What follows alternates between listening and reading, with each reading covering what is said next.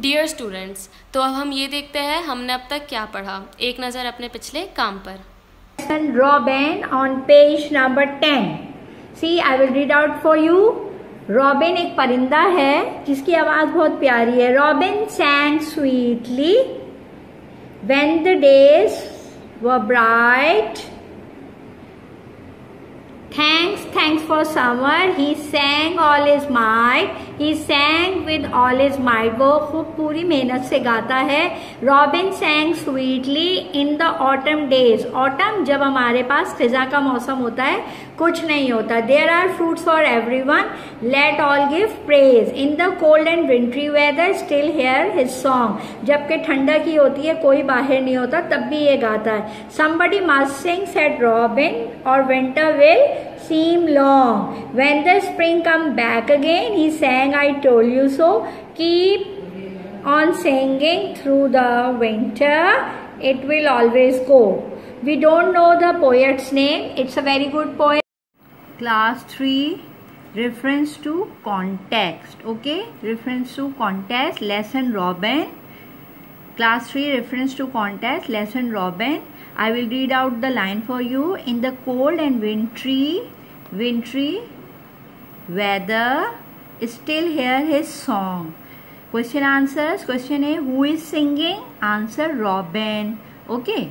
What does the word still tell us about singer still को हमें define करना है. The word still shows the singer's hopefulness शायर की होप है कि देखें, आज तक भी हमें उसकी आवाज़ें आती हैं रॉबिन की और हम चाहते हैं कि रॉबिन गाना गाए। हमें होप है उसकी, ठीक है?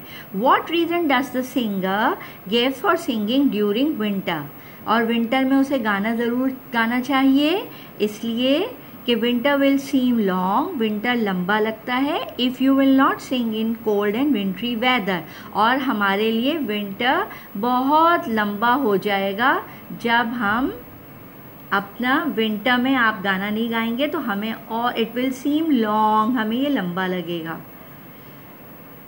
Question D from which lesson these line have been taken these lines have been taken from poem Robin okay class. Reference to contacts you have done. Okay check it out. All question answers.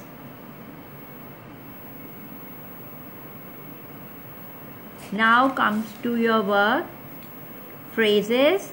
On page 12 we have taken from page 12 and some other work. See.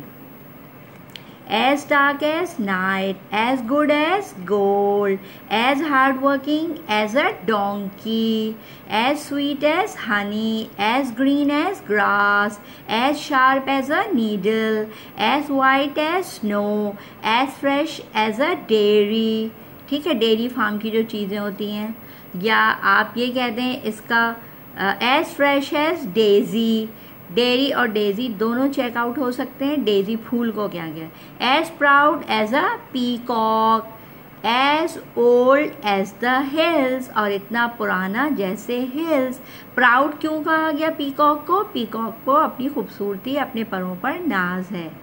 Okay class thanks